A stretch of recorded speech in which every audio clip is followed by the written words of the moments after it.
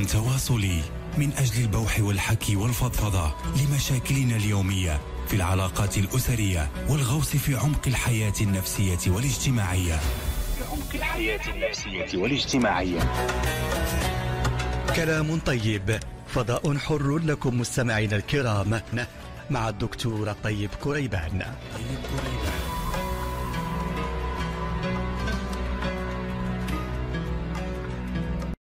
السلام عليكم ورحمة الله وبركاته. عليكم السلام سيدي لاله سعاد مرحبا بك. بارك الله فيك سيدي آه، اسمح لي مرتبطة بغيت نسولك آه، بالنسبة لي كنت كنصلي وسميتو دابا كتجيني شي بعض كنتوضا وكنبغي نصلي كتجي شي حاجة ثقيلة ك- ما تخلينيش نصلي. بغيت نعرف مناش وكنت آه، فايت ليا مخطوبة ودرت العقد وما كملش الله وأنا ما درت والو. السبب ما عرفتش علاش لحد الساعة ما عرفتش السبب. المهم ما علينا وكنشوف البنات اللي وقع عليهم المشكل. ودابا مدة 15 عام وأنا مازال باقي ما كاين والو. لا بحال هادشي كي كيبقى فيا الحال. آه، كيفاش لاله سعاد ملي كتبغي تصلي كتجيك ثقيلة كيف اشرح لنا أكثر. دابا ملي كان كنتوضا على أساس اني غنوض نصلي. يعني إيه. باغا نصلي. نعم. وملي كنبغي يعني بحال دابا هو ود العشاء ولا سميتو خاصني نوض نصلي ما كنقدرش ما كنقدر يعني بحال شي حاجة كتحبسني ما تخلينيش نوض نصلي. نعم لاله سعاد. نعم لاله الله. الله. شكرا لك لاله سعاد. الله يحفظك ويرعاك. آمين يا رب. يا رب الله يسعد قلبك يا رب يا كريم. آمين. آه، هذا نعم قلت لك بغيت نعرف زعما مناش وبالنسبة لحال دابا كتكون شي حاجة وما كتكملش يعني ما عرفتش من ناحيتاش ولا يعني الأسباب اللي كتخلي هذا الشيء ما يكملش. واخا لاله سعاد مرحبا بك لاله بارك الله فيك سيدي. شكرا لك لاله سعاد. آه، آه، الصلاة اللي كيشعر بأنه نشيط فيها هذيك علامة من علامات أن الإنسان آه، حالته النفسية والإيمانية سليمة.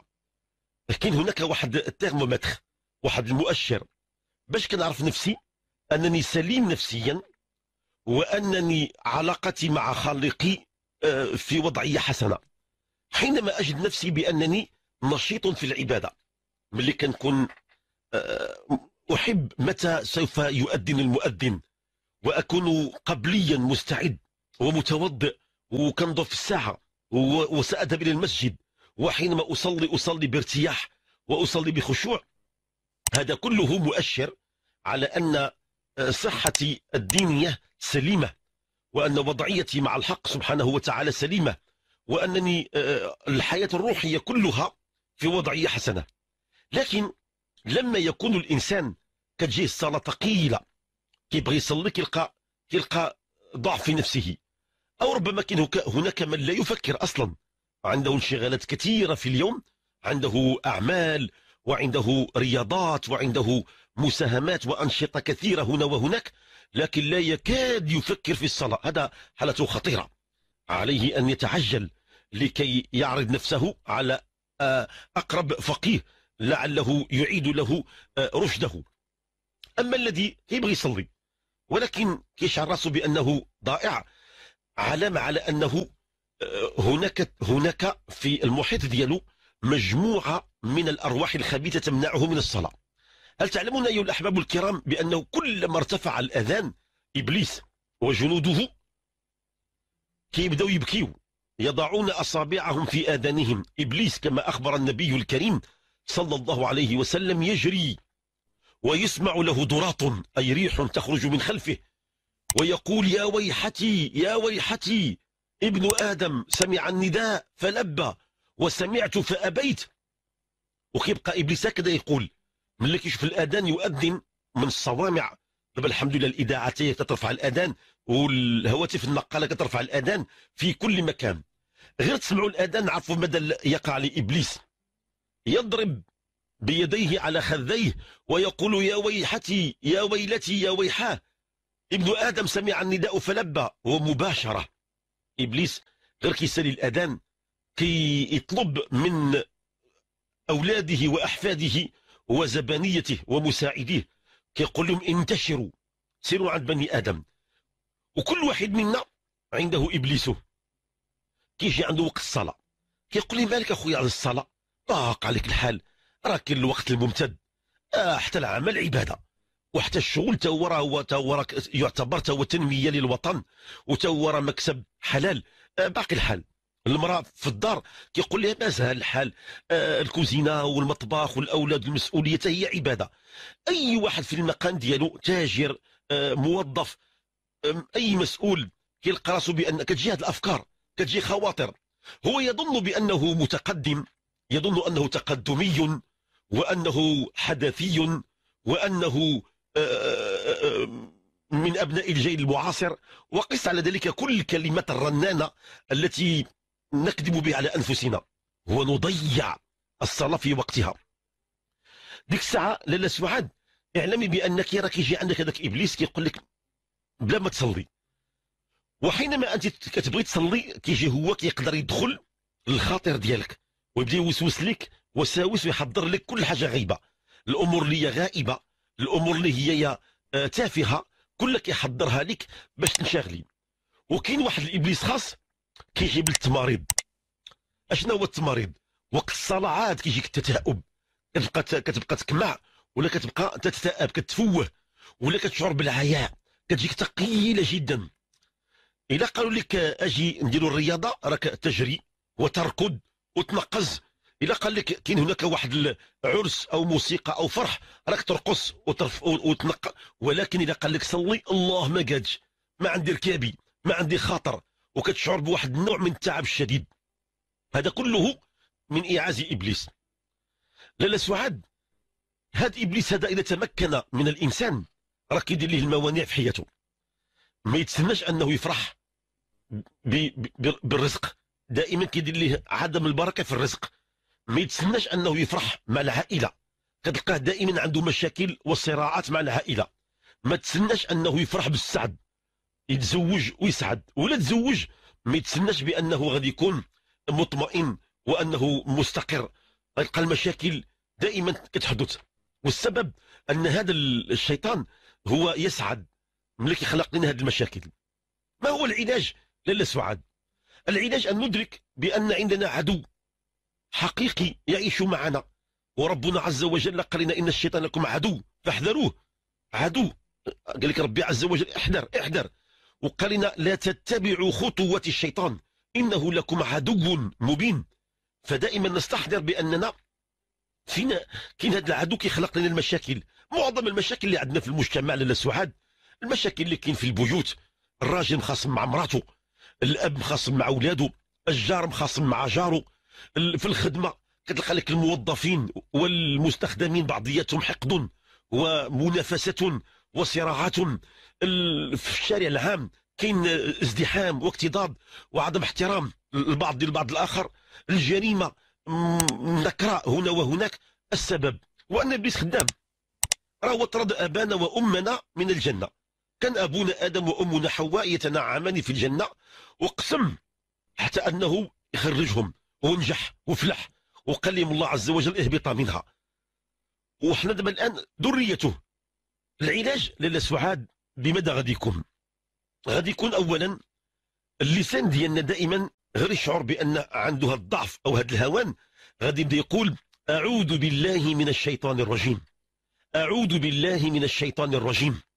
وإلا كثر عليه يقول هذه الصيغة أعوذ بالله السميع العليم من الشيطان الرجيم من همزه ونفخه ونفته.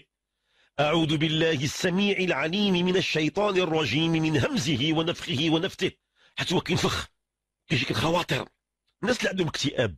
الناس اللي عندهم ضيق الصدر. الناس اللي غمخاصمين. راه ماشي قضية أمراض نفسية أو عقد نفسية أو تراكمات ديال ال- الأحداث اللي في لا المشكلة الكبيرة هو أن ابليس خدام.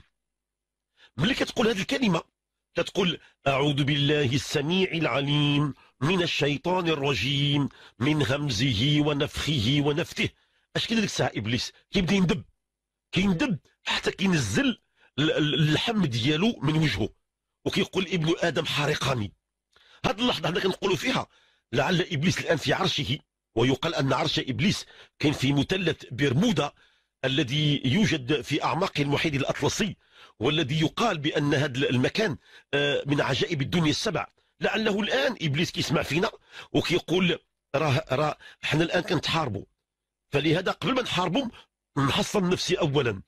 بماذا أحصن نفسي؟ بكلمة لا إله إلا الله لا إله إلا الله لا إله إلا الله. تقولها؟ سبحانك يا جليل عندك تحصين.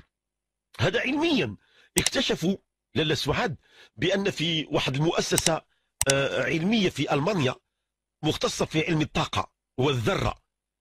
فاكتشفت داك الأورانيوم. عندهم واحد لل... واحد التخصص دقيق جدا عنده علاقة بالطاقات المتطورة.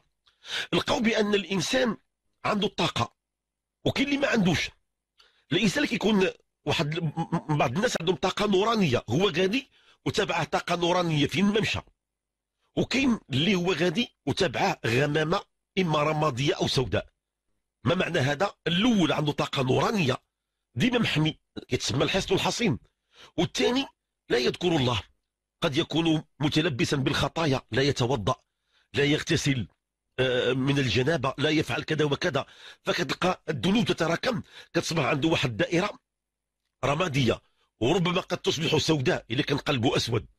أما الذي في فيه دائرة نورانية يقول لك هو الإنسان الكثير الذكر آه، الذي يجالس الصالحين الذي آه، قريب من الله. حتى البيوت. لقاو بعض البيوت ملي كيقربوا ليها بداك الجهاز كيلقاو البيت اللي ربي واحد الطاقه نورانية. معنى ذاك البيت يقرأ فيه القرآن وأهله من أهل الدين والإيمان وكاين بيوت أخرى والعياذ بالله. كتلقى دايره بها واحد دائرة رمادية. معنى أنك البيوت لا يذكر فيها اسم الله فيها كل شيء. فيها الحديث عن السياسة وعن الفن وعن الرياضة وعن الموسيقى وعن السهرات وعن تعويم الدرهم وعن كل شيء إلا ذكر الله. أش كيوقع هنايا؟ البيت كيعود خالي من ذكر الله تسكنه الأرواح الخبيثة.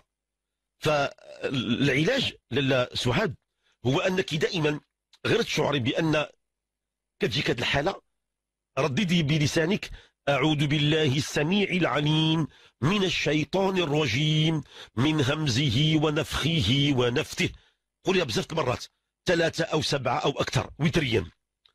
وكرري لا إله إلا الله. غتلقي بأن هذه الحالة النفسية كتبدأ تزول عنك وغتشعر بنشاط وغتشعر باستعداد. وملي غتكتري إن شاء الله بالصلاة على رسول الله صلى الله عليه وسلم غادي يكون هناك جلب الحظ السعيد. تأخر الزواج تأخر الرزق تأخر السعد. راه كله عنده موانع.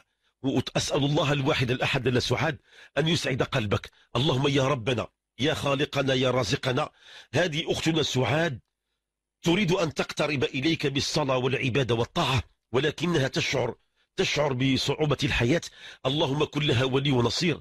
اللهم اربط على قلبها برباط الإيمان واليقين وحبب إليها الصلاة ويسر لها الأمور اللهم يا كريم افتح لها باب السعد وارزقها الزوج الطيب المبارك والرزق الوفير في القريب العاجل. قولوا معنا جميعا آمين. آمين آمين يا ربي يا كريم. السلام عليكم. لا تنسوا الإعجاب بالفيديو والاشتراك في القناة. تشجيعا لنا لنستمر بنشر المزيد إن شاء الله.